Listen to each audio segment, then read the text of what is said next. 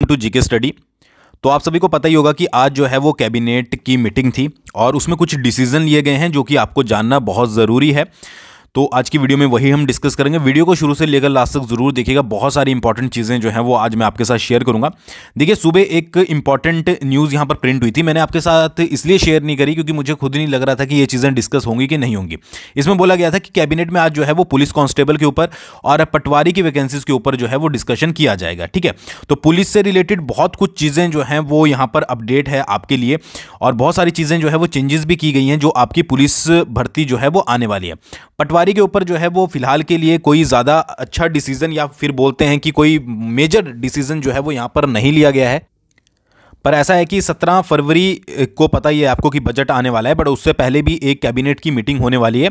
और जो जो मुद्दे आज पेंडिंग रह गए हैं, जैसे कि आपका पटवारी वगैरह वाले का कि कब जो है वो वैकेंसीज आ सकती है क्या क्या चीज़ें हैं। वैसे तो पटवारी की वैकेंसीज को पहले ही जो है वो अप्रूवल दे दिया गया है। तो वो सारी चीज़ें जो हैं वो आने वाली किसमें आपकी कैबिनेट मीटिंग में जो है वो डिस्कस हो सकती हैं। बट पुलिस कांस्टेबल की भर्ती को लेकर बहुत बड़ा अपडेट है। मैंने आपको प्रीवियस वीडियो में भी बताया था, देखिए कि H P P S C जो है वो यहाँ पर मना कर रहा है कि ग्राउंड से रिलेटेड ठीक है जो रूल्स वगैरह बनाए गए हैं, हमें पहले जो है वो पूछना चाहिए था और हमारे डिपार्टमेंट के जो मेंबर हैं, वो इस मतलब कि ग्राउंड वगैरह जो है वो नहीं करवाते हैं। उसके अलावा जो ऑनलाइन आपका टेस्ट है, ठीक है, वो उसके लिए भी जो है वो रिसोर्सेज कम है तो उनके ऊपर जो है वो अपडेट है। आगे बढ़ने से पहले, पटवारी का कोर्स चला हुआ है भाई, बहुत अच्छे तरीके से आप चाहें तो ज्वाइन कर सकते हो। डिस्क्रिप्शन में लिंक है जीके स्टडी ऐप का, वहाँ से जाकर डायरेक्टली आपको कोर्सेज वाले सेक्शन में जाना है और ज्वाइन कर लेना है, या फिर nine eight eight two zero six one zero two two पर आप हमें जो है व्हाट्सअप कर सकते हो डिटेल लेने के लिए, ठीक है?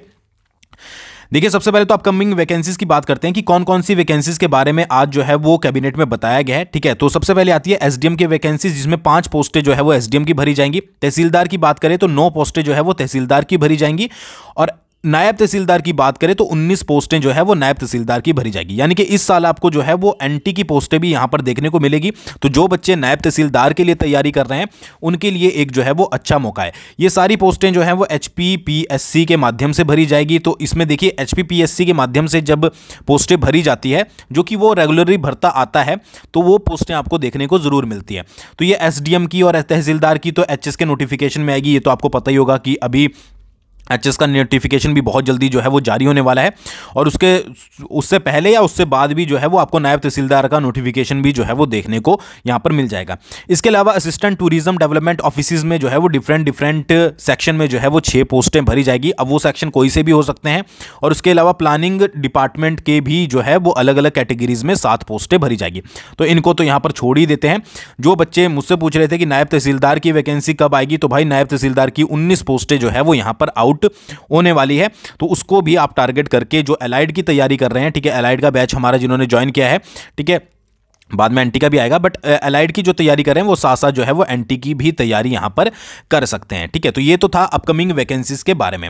आगे बढ़े तो एक न्यू कमेटी को जो है, वो यहाँ पर आपका जो है, वो बनाया गया है, और इसके, इसको काम क्या दिया गया है, ठीक है? कि भंग किए गए हिमाचल प्रदेश कर्मचारी चयन आयोग, जो भंग कर दिया गया है हमीरपुर के तहत, पुलिस जाँच के कारण लंबित विभिन्न परीक्षा परिणामों के कानूनी पहलुओं के जो परीक्षण के लिए उप मुख्यमंत्री जो है, मुकेश अग्निहोत्री, उनकी अध्यक्षता में एक मंत्रिमंडलीय उपसमिति का गठन जो है वो किया गया है, ठीक है? एक सब कमेटी बनाई गई है और इस सब कमेटी को जो है वो पंद्रह दिन का टाइम दिया गया है कि जो भी वैकेंसीज एफआईआर के अंडर चल रही है क्या क्या उसका प्रोसेस है, किस तरीके से है, क्या उसके ऊपर जो भी अपडेट है वो पंद्रह दिन के अंदर सबमिट करना है, यानी कि सत्रह फरवरी से पहले पहले ही जो है वो सबमिट करना है ताकि जो है वो उसके ऊपर फर्दर जो है वो एक्शन लिया जाए। आपको पता है कि आठ सौ सत्रह के बच्चे आज जो है वो सचिवालय के बाहर धरने पर बैठे हुए हैं और उनको उम्मीद थी कि कोई ना कोई डिसीज़न जो है वो 817 के रिगार्डिंग उन लिया जाएगा बट कोई 817 के रिगार्डिंग डिसीज़न नहीं लिया गया, जबकि अब जो है वो एक सब कमेटी बना दी गई है, जिससे वो जो है वो खुश नहीं है। तो अभी देखते हैं कि आगे जो है वो क्या प्रोसेस होता है, ठीक है?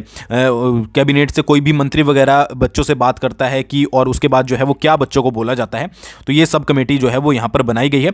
इसके अलावा मेन जो अपडेट आती है, जिसके बारे में आप वेट कर रहे हैं, वो है एचपी पुलिस कांस्टेबल की। मैंने आपको बताया था कि Uh, एचपीपीएससी जो है वो कंप्लीट तौर पर मना कर रहा है कि ये सारी चीज़ें जो है वो हम नहीं कर सकते।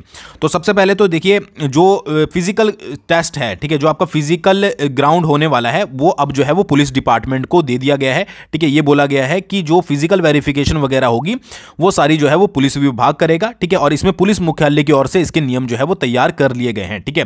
नियम तो वही आपके जो है वो सेम टू सेम रहने वाले हैं, और जो आपका एग्ज़ाम होगा वो लोक सेवा आयोग ही आपका कंडक्ट यहाँ पर करेगा। बट वो एग्ज़ाम पहले बोला जा रहा था आपका ऑनलाइन होगा बट वो एग्ज़ाम अब ऑनलाइन नहीं, वो एग्ज़ाम आपका जो है वो ऑफलाइन होगा। तो ये दो मैटर जो है वो एच ने रखे थे। कि भाई, एक तो सबसे पहली बात कि हम ग्राउंड नहीं करवा सकते, दूसरा ऑनलाइन ज़्यादा सोर्सेज नहीं है, ठीक है? तो दोनों को गवर्नमेंट ने बोल दिया है कि अगर आप ऑनलाइन नहीं करवा सकते तो आप ऑफलाइन टेस्ट लीजिए और जो फ़िज़िकल स्टैंडर्ड वगैरह है, वो पुलिस विभाग जो है, वो खुद से देख लेगा, ठीक है? तो इस तरीके से ये प्रॉब्लम जो है, वो थोड़ी सॉल्व नज़र होती आ रही है और बहुत जल्दी फिर आपकी जो है, वो वैकेंसीज यहाँ पर आउट की जा सकती हैं, ठीक है? अगर इलेक्शन से पहले हो जाती है, नहीं तो फिर इलेक्शन के बाद जो है, वो आपकी यहाँ पर होगी, ठीक है? तो ये सारी चीज़ें हैं। उसके बाद जो rule of business of approval हैं, ठीक है रूल्स ऑफ़ बिज़नेस जो एच के हैं, ठीक है, उनको जो है वो अप्रूवल दे दिया गया है गवर्नमेंट के द्वारा।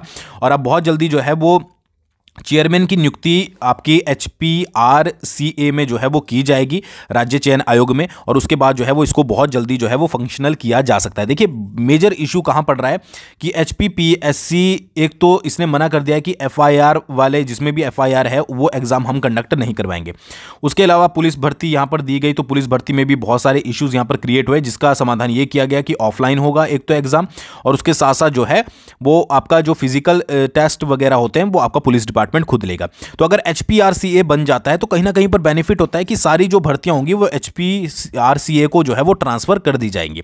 तो गवर्नमेंट को ये करना चाहिए कि बहुत जल्दी जो है वो चेयरमैन की नियुक्ति करे, उससे बाद जो है वो वेबसाइट का काम भी शुरू हो चुका है तो वेबसाइट जल्द से जल्द बनाकर जो है रूल्स वगैरह यहाँ पर अपलोड कर दिए जाएँगे किस तरीके से जो है वो क्या एग्ज़ाम कंडक्ट करवाए जाएँगे। ठीक है?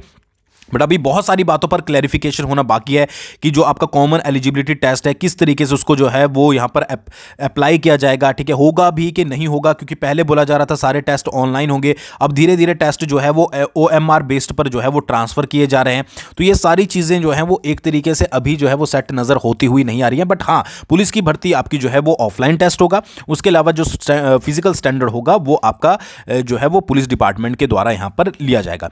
तो ये कुछ अपडेट थी, बाकी पटवा पटवारी से रिलेटेड अपडेट जो है वो नेक्स्ट कैबिनेट में देखने को मिल सकती है कि कब तक जो है वो इसकी वैकेंसीज आउट होंगी। वैसे बार बार जब भी बोला जाता है तो मार्च ही बोला जाता है कि मार्च में इसका नोटिफिकेशन जो है वो आउट होने वाला है।